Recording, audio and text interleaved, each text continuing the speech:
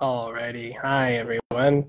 Uh, I'm just coming on here. I'm just here at uh, Awakenings Bookstore where I am setting up for my Sunday night Spirit Circle class uh, that I do here every week. It's the first class I started, first circle I started here. I believe that's almost four years now, probably four years now, actually. Uh, and I am here um, just getting ready because uh, we're going to be connecting with spirit. We're going to be doing mental mediumship this evening, and uh, but I wanted to pop on here because I normally am supposed to be on here at one o'clock on Sundays, but as many of you probably know, I'm really terrible at consistency and at uh, making sure that I do these because social media is not my easiest uh, tool. But any case, here I am doing this, and I just wanted to let you know about uh, a few things that are happening. So. Number one, um, I'm going to be doing a mediumship demonstration with AJ Barrera. Uh, I'm a well-known medium over here in Orange County, and I know he travels all over. Uh, and that will be August 30th. Um, and that will be from 7 to 9 at In Spirit in Mission Viejo. There's a link on Eventbrite that you that I'll be posting, so you'll be able to uh, get a link there and get tickets. So if you haven't seen me demonstrate, you'll get to see me and a really great medium, AJ Barrera, working together to bring forward messages from the Spirit. So I'm very excited about that. Um, that is I'll put more information up there for you. So the other thing I wanted to mention too was I'm going to be doing a free online class uh, in on Saturday. Saturday, August 3rd. So free.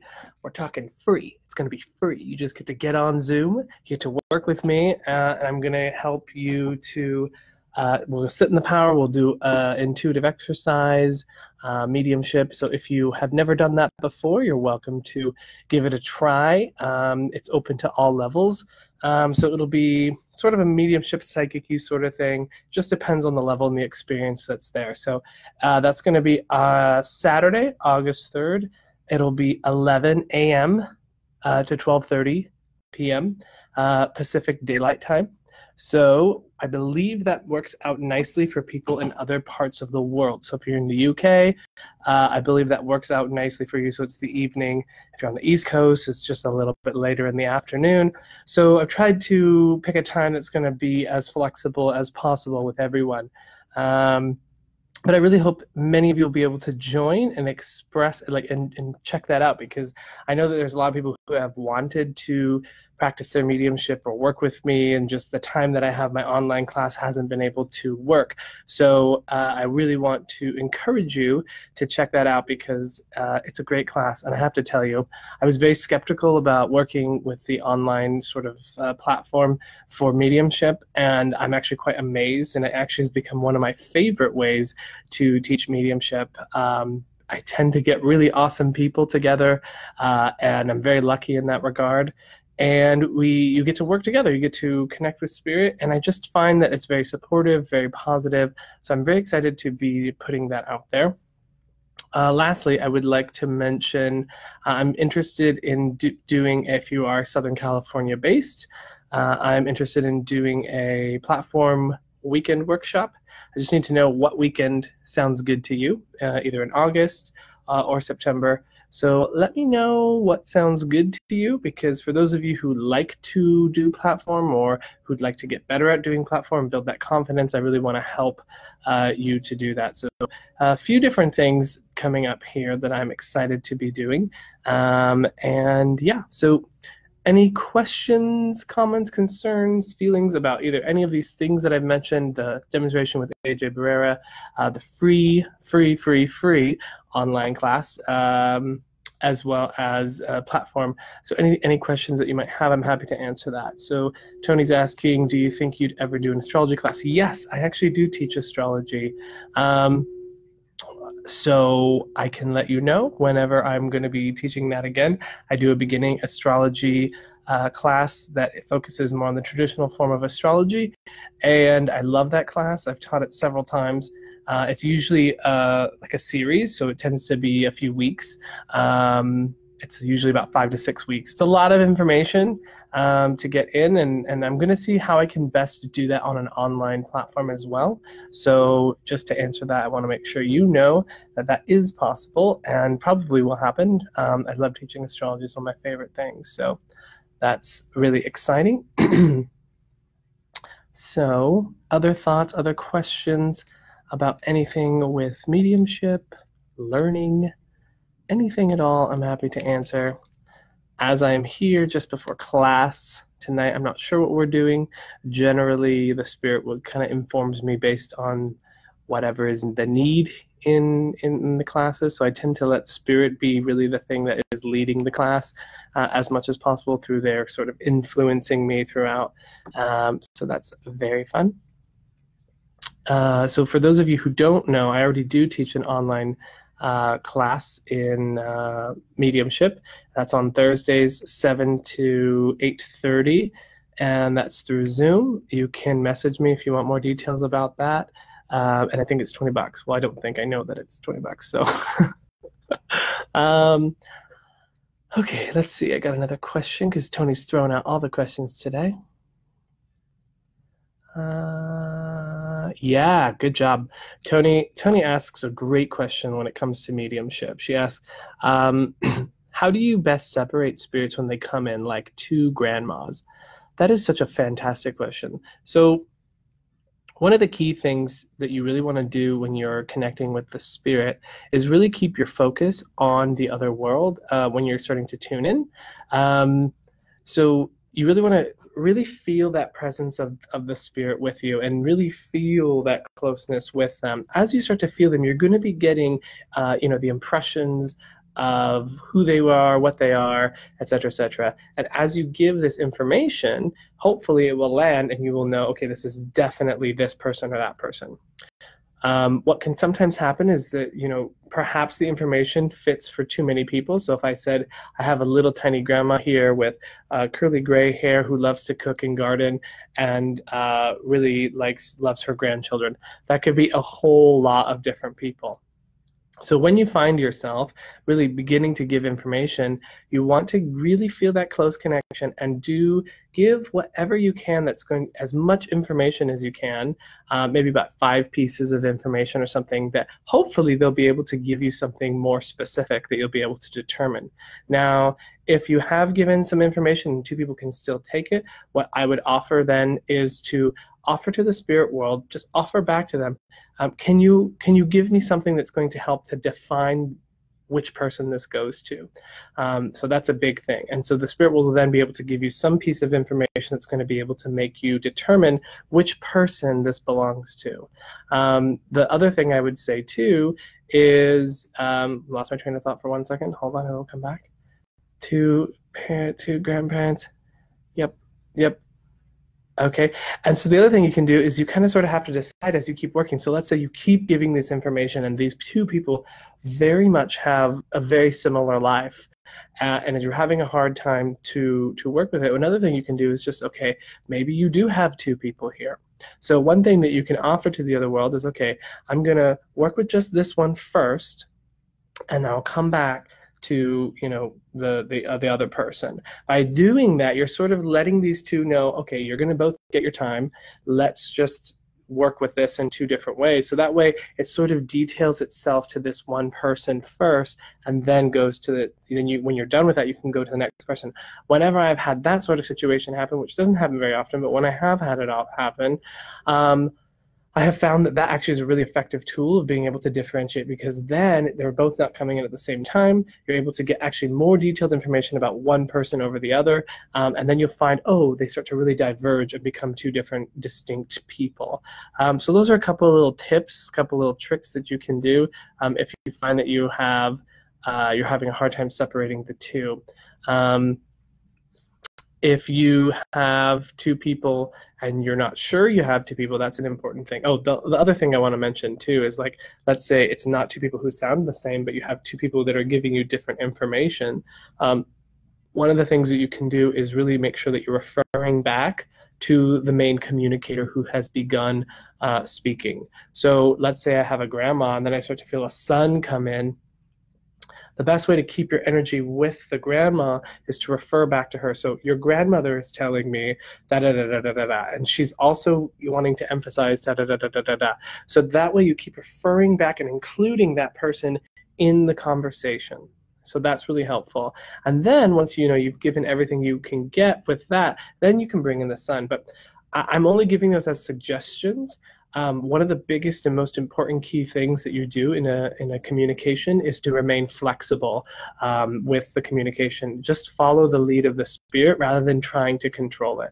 So do your best to just offer to them and trust that the other world uh, has the knowledge and the intelligence to be able to kind of fix these little snafus that can sometimes happen. I think sometimes as we are working with the spirit uh, and we start to move with it and then something kind of comes up that's when we start to kind of get in our head and we're like oh no this is not working or i'm not being able to place the difference here uh, and so what's super helpful is to just really let go of that is that issue that thing in your head that's telling you, oh no, something's going wrong.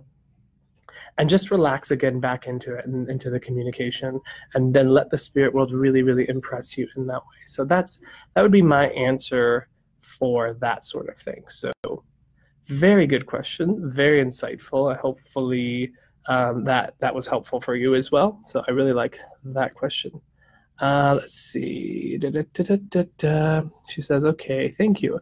I get often when I do one to ones and I think separate, but then the client will say that's for grandma A and that's for grandma B. I'll keep practicing. Very good. And, and that can definitely happen because both want to come in, right? But it's when we really develop the ability to feel the power and the presence, right?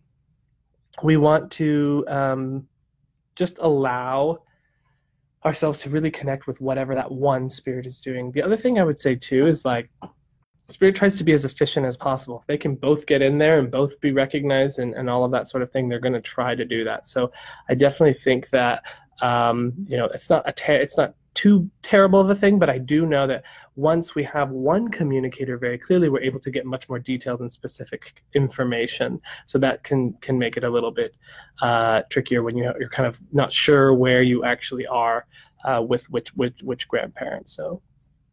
Uh, Anuradha asks, how do you use spirit to work with you in psychic intuitive readings? Are they your spirit guides you refer to, or which spirit is this? Good question.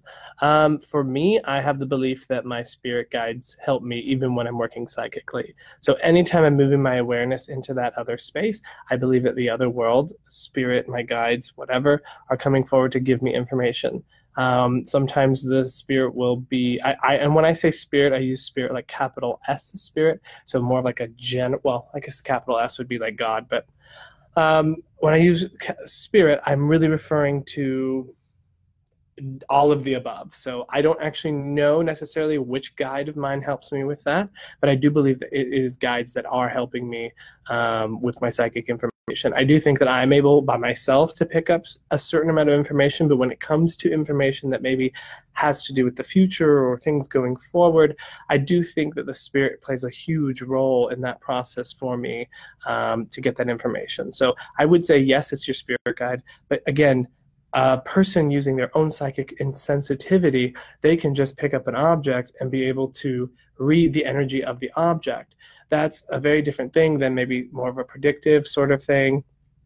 Um, and and tuning in in that way. So I do feel like anytime I'm doing that kind of reading, uh, it's it's spirit that's helping me uh, with all of it. So that's a really good question. Okay, thank you. When they are different genders, I can tell the difference. It's just when they are so similar, it gets confusing. Absolutely, Tony, I know exactly what you mean.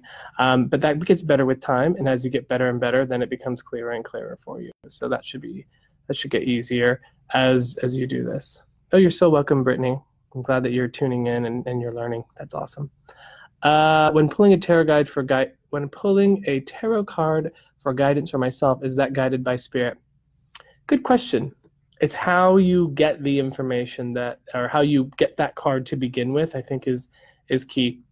One of the things i would recommend is if you are going to pull a card for uh, yourself uh, i would take the cards, I would sit with the cards, I'd be shuffling the cards, and while I'm doing that, I'm asking my guides and helpers to help to influence the moment so that the right card for me will come forward. Um, so I'll be shuffling, and, and then I want them to impress me with a feeling when it's time to stop shuffling. So that way I know, oh, okay, this is where it is. You don't look for it, you offer the intent, but then you just wait until there's that change that happens uh, as you're feeling, you know, working with the cards. So I feel that that's a big key thing there. Uh, with you know if you want your guides to be more part of the process because they know what the cards are they know what's going to be there and so it's a matter of you kind of making sure that you're including them if you're just sort of willy-nilly shuffling and going okay what happens then it might be a little bit different i don't know uh, but I know for me, when it's worked the best, it's always because I've offered this time and the, this as a tool for their influence. So I think that that's a, an important thing to to take note of. So hopefully that answers your question. Yep, you're welcome. For those of you who are asking, fabulous.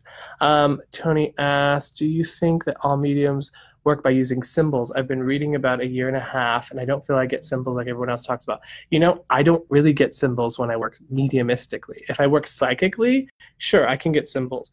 Now, the spirit can work with shorthand and like impress you with something that maybe relates to your own life or something that you've experienced so that the other world, or so that they have sort of a shorthand. So, like, let's say you had a loved one and their, their name was John, and you have an uncle and his name is John. They might slash John to you to make you think, ah, this is John.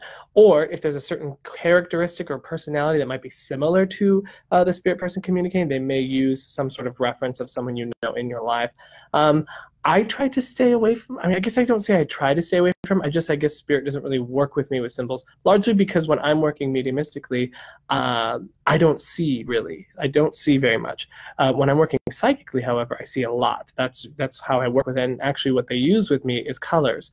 So that's actually how I work within the aura, within the psychic sort of senses.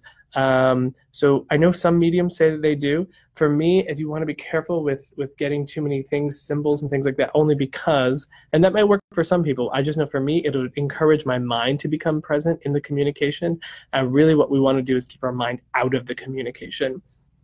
So symbols make you think, okay, what does this symbolize? We don't want to do that. So if you do get a symbol or you are using some sort of symbol, what's most important is that um, it hits you a certain way. So how does it impact you when it hits you? If you are getting a symbol, don't try to interpret it, but just pay attention to how does this impact you?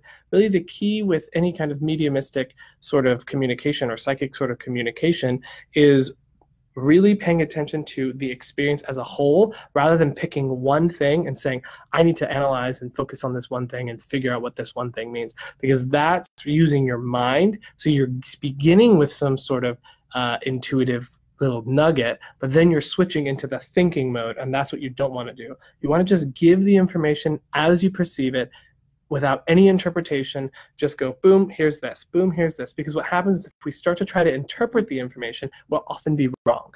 Uh, because it, we may think it fits in this person's life in one way, but the reality is, is that they know it in a totally different way that has much more meaning. So it's not our job to interpret, it's our job to convey and be the medium, not the interpreter if that makes sense. Um, sorry, one more question. Do you have any books about mediumship that you recommend? I highly recommend anything that is by Gordon Smith. Basically, anything by Gordon Smith. He is fabulous. I think that he is one of the best mediums working right now, and I think that he's incredible. I also know James Van Praagh has some really good books as well. Um, so I would definitely recommend anything by Gordon Smith as far as learning, because I know that that's the kind of uh, books that he generally writes. So about mediumship, how to develop mediumship, that sort of thing. Um, he has one called Intuitive Studies, which is actually what this class was first built on, the one I'm going to be teaching here soon. Um, so I don't know if it's still in print, but I think they just started reprinting it. Uh, so it's Intuitive Studies. I really like, also, he has another one called um, The Unbelievable Truth that's a really good one just about mediumship and, and, and like spirits and the other world and that sort of thing in general, which I find to be very, very interesting information for anyone who's just interested in understanding a little bit more about spirit uh, and the other world. So that's a really good one. okay. Uh, Anuradha asks, I also feel so exhausted after doing even psychic readings. I worked with two very sick old dogs and was completely wiped out. How may I protect my energy better? Okay, so one of the things you want to do is um, change your belief system. Um, number one, just a little thing, just change your whole belief system. Um, so what you want to do with it is, hi Baba Story and R um, what you want to do is um, you really want to work with the power. So if you're using your own energy as you're working with the spirit, or, as you're working with your psychic things or your mediumistic things, then you're going to start to get worn out because you're not. It's likely that you're using a lot of mental energy or a lot of physical energy rather than letting the flow from the other world be the thing that takes you through all of the things. So really, also, I would say the other thing is developing your own power and developing your energy. Um, and just being mindful of how much you uh, do with that. So something very important to just keep in mind um, with that. I may have someone walking in the door. Hold on one second. I will let you know in just a moment, and I'll come back to that question. Waiting, I'm waiting. Okay, well, um, we'll see if she tries to walk in. So, uh, yeah, so what I recommend is definitely sitting in the power to develop that sort of connection and that sort of thing. Um, what time is it anyway? Let's see. 647. Okay. Okay. Hold on one second. I gotta let people in. Hi, you're here for class? Yeah. Cool. I'm just finishing up a little Facebook Live. Okay. so if you don't want to be on it, I would uh, Sorry. just go into here. You can be on it if you want. Um, you can just, yeah, hang out in there, or you can have a seat here, and then uh, we will we will get started. So as you can see, people are coming. Um, so let me just see if there's any last little things that I can. Um, let's see. I believe in three. Hi, Sunshine Rome two. Okay. Hello, Spirit is good. I was great. Thank you for validating that sense. Color cycle too. That usually the first thing that comes in. Thank you for the recommendations. Hi, Christine. Okay, so since uh, my class is going to be starting here and people are starting to arrive, I need to get ready for that.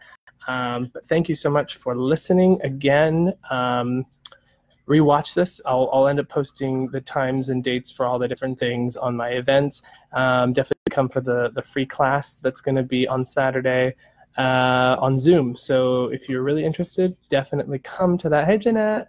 Hope your mom and you are doing well. Um, so yeah, I hope that helps everyone. I hope I was able to answer everything that people asked um, and just want to send you lots of love. Uh, and uh, hopefully, I'll get to work with you or see you all very soon. Okay? Thank you so much. Bye.